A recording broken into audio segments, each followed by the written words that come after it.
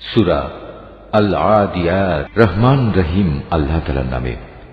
শপথ সেই দ্রুতগামী ঘোড়াগুলোর, যারা ঊর্ধ্ব শ্বাসে শব্দ করতে করতে দৌড়ায়। শপথ সেসব সাহসী ঘোড়ার, যাদের ঘুরে অগ্নিস্ফুলিঙ্গ বের হয়।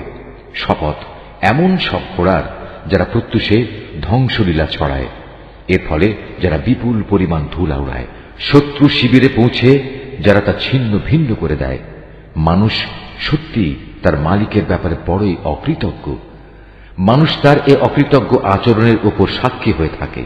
অবশ্য সে মানুষটি ধন দৌলতের মোহেই বেশি মত্ত থাকে। এরা কি একথা জানে না? এ কবরের মধ্যে যা আছে তা বের করে পুনরায় জীবিত করা হবে? মানুষের অন্তরে যা ছিল তারও প্রকাশ করা হবে। এদের সবার সম্পর্কে তাদের মালিকই সবচেয়ে ভালো জানবেন।